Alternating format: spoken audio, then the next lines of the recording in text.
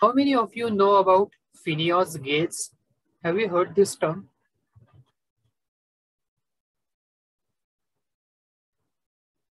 No, sir. No, No. sir. No. Okay. This is the true story, and this is the actual starting point of cognitive psychology. Phineas Gates, he was a worker. ज्याला अपन मजूर म्हणू. England में ये red rail road का जो working है foundation वगैरे जे आहे सो त्याचं बांधकाम तिथे चालू होतं.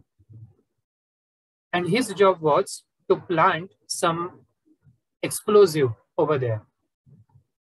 अब ये 1850s की बात है.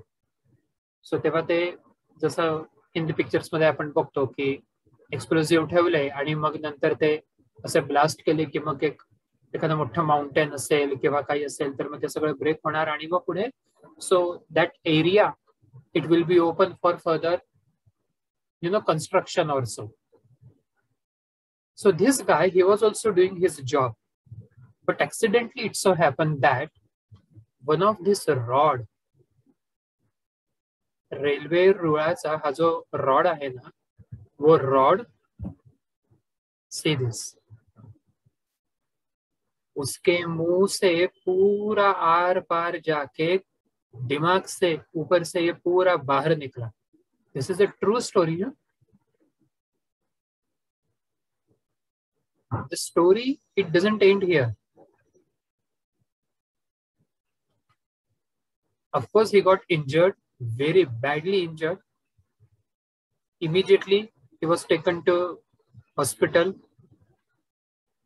उसके ऊपर ट्रीटमेंट हुई and he survive after this accident he survived for more than seven or eight years and then he died this is true story you can search on google as well Phineas Gates नावाने.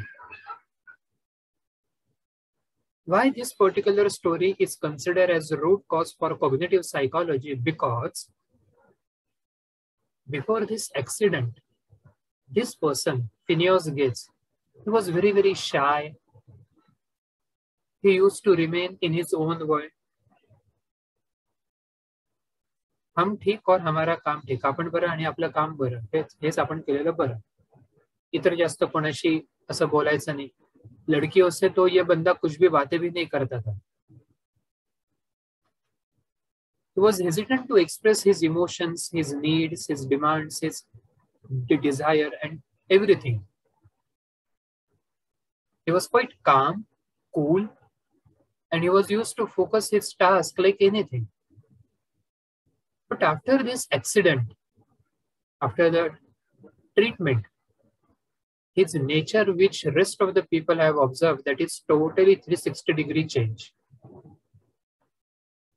The person who used to be shy, alone, calm, quiet, now after this accident, he became very, very extrovert, very aggressive, and expressive as well.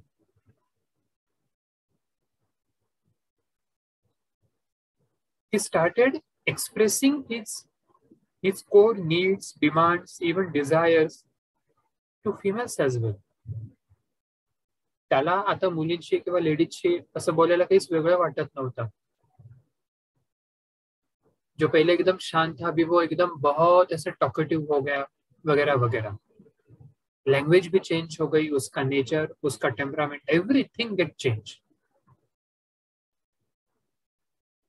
and after his death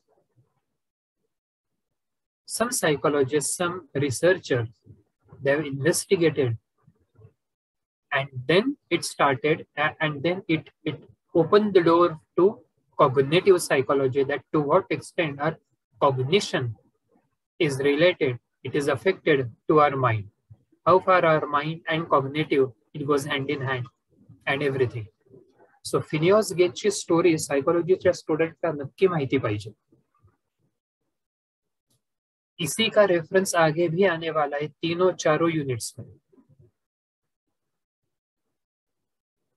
Broca's and Wernicke's these two people जिनके नाम से language centre सभी है।